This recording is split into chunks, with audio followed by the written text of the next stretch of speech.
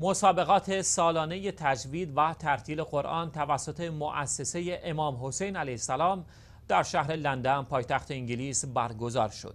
به نوشته پایگاه خبری قرآنی قاف این مسابقات در دو رشته تجوید و ترتیل و با حضور 20 شرکت کننده در بخش آقایان برگزار شد.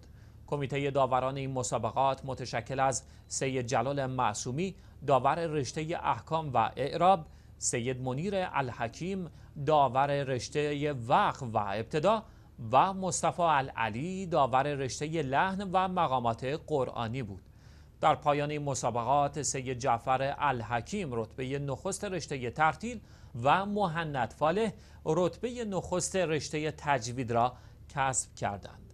یادآور می شود مؤسسه امام حسین علیه السلام که پنج سال قبل به همت شیعیان افغانی مقیم انگلیس راه اندازی شده فعالیت ها و برنامه های قرآنی چشمگیری را با نظارت اساتید بزرگ قرآنی برگزار می کند.